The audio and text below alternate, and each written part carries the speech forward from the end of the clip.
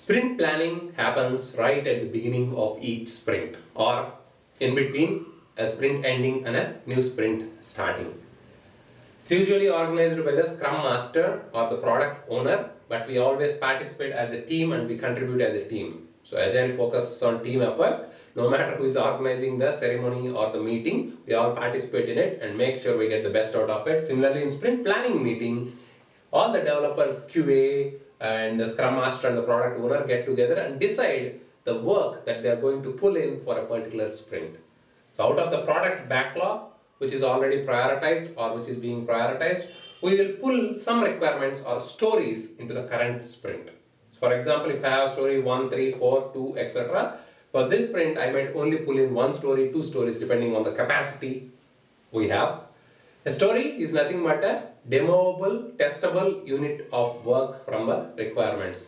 So at the end of each sprint, we should finish the story and deliver it to QA and QA should also finish it and then demo it to the product owner. Product owner, if she accepts it, then that story is claimed to be done. Each of these stories, we maintain stories or requirements using tools like Jira. Each of these stories have a description. So in this planning meeting, we have to make sure we understand even before we come to planning, we usually do this in grooming to make sure that the requirement is clear, the acceptance criteria is clear and it has the tasks on it. But once in a while, we end up doing it in planning also. So the product owner will uh, help the team to pull in the appropriate stories for that sprint. By the end of the planning meeting, everybody should have something to work on in that sprint. The developers will have some development work and the QA will be having enough testing work based on what the developers take for that sprint. The description tells what that story is or what that requirement is about. Acceptance criteria is usually defined by the product owner, but we as a team can help the product owner once in a while to come up with the best acceptance criteria. Even the QA is very helpful there. They can come up with their own suggestions on what the acceptance criteria should be to accept a story.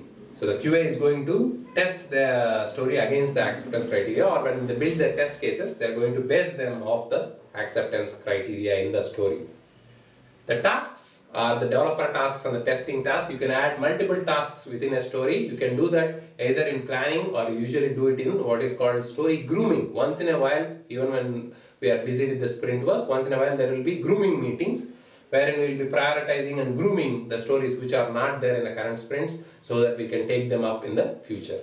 Because we don't grab all the requirements at once in Agile, we are going to take a few requirements, do a little work, get the feedback, instant feedback from the product owner who is our client or once in a while we can even demo our stories at the end of the sprint to the end client themselves.